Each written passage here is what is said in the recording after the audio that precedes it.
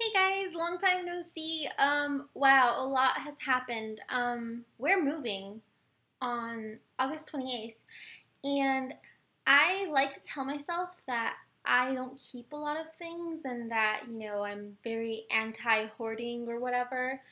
And I try to tell myself that I'm a minimalist, but holy cow, I have so much just stuff, just stuff. And you know what? I, I never even, I, I like delude myself into thinking that I'm a minimalist until I have to move. And then I realize I'm a hoarder and I just, I just hide it.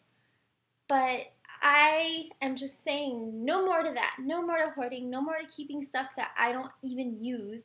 Um, so, since we're moving, I am going through every aspect of my things um, my clothes, my, um, my lotions, my perfumes, my books, everything. And I am just getting rid of the things that I have not used um, in the last six months. If I haven't used it in the last six months, I'm probably not going to use it.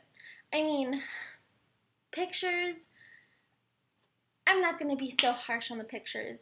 Um, unless it's like I don't like the person anymore, and then I might probably throw it away. But you know, like family and stuff, I have to keep that.